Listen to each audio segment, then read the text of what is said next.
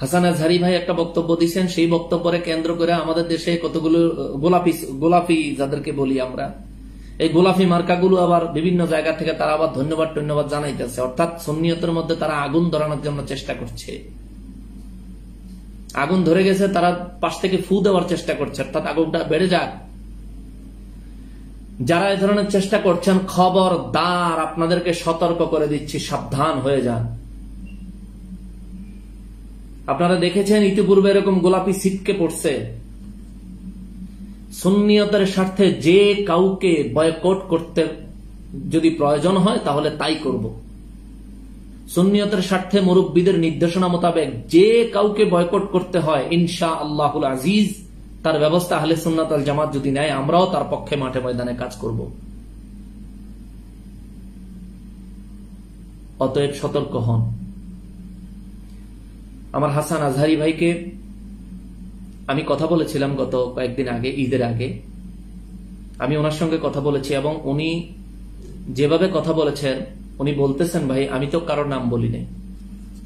আমি বিষয়টা উপস্থাপন করছি, জাতি যাতে সাবধান হতে পারে, সতর্ক হতে পারে। হ্যাঁ আমি তার বক্তব্যটা দেখেছি, দেখে তাই বুঝেছি যে হ্যাঁ তিনি কারও নাম উল্লেখ করেনি। তো নিজেদের ইন্ডিভিজুয়াল বিষয়গুলো আমরা নিজেরা ইন্ডিভিজুয়ালি আলোচনা করব পাবলিক প্লেসে আর আলোচনা করতে চাই না।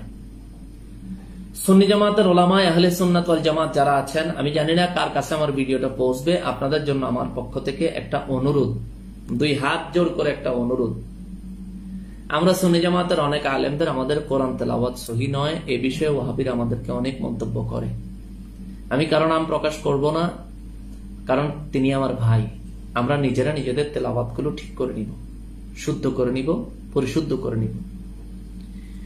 এবং আমাদের যে যত বড় আলেমই হন না কেন, যার মধ্যে যে ধরনের ত্রুটি বিচ্ছুতি আছে, দয়া করে নিজের ত্রুটি বিচ্যুতিগুলি খুঁজবেন এবং নিজের ত্রুটি বিচ্যুতিগুলো নিজেই শুধরে নেবেন। আর আমার মধ্যে যদি কোনো ত্রুটি বিচ্যুতি থাকে, যেটা আমি দেখছি না, আমার দ্বারা চালিয়ে যাচ্ছি আমি কন্টিনিউয়াসলি আমার মুরব্বীরা সহ, আমার সমবয়সী এবং সহযোদ্ধারা সহ, আমার জুনিয়র লেভেলেও যারা আছে, আমি সবাইকে অনুরোধ করব দুই হাত জোর করে, আমার ত্রুটি থাকলে আপনারা আমাকে পার্সোনালি জানাবেন।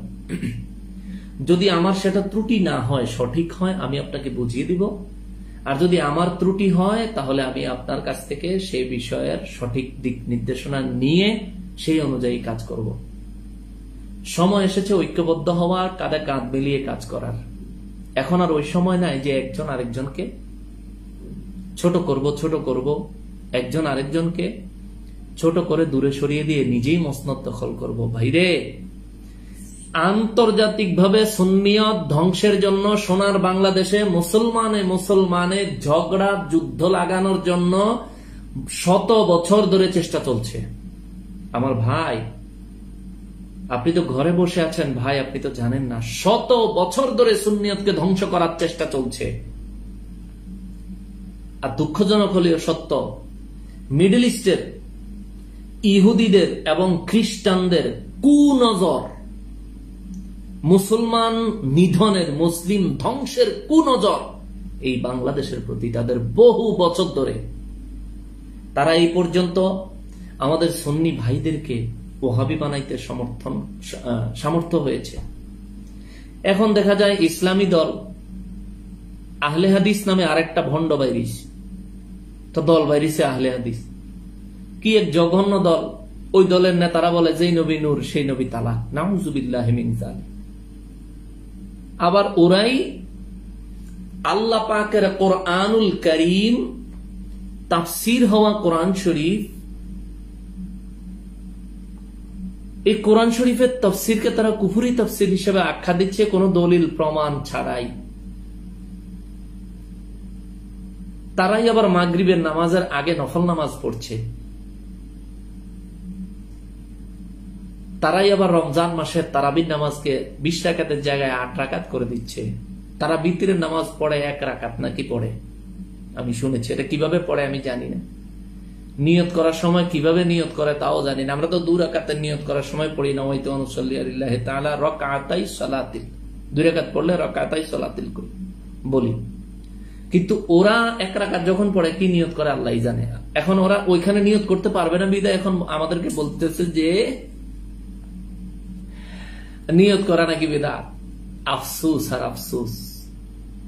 এই আহলে হাদিস নামক ষড়যন্ত্র থেকে আল্লাহ তালা আমার গোটা মুসলিম উম্মাকে হেফাজত করেন আমি